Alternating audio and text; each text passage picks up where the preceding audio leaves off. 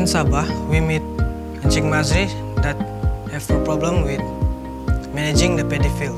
So he faced a problem with uh, birds trying to eat the paddy field. So we built our project that can help Encik Mazri. This project can chasing away the birds by ringing the bell every 30 seconds. So I hope this project will help all farmers in Sabah. Okay, thank you.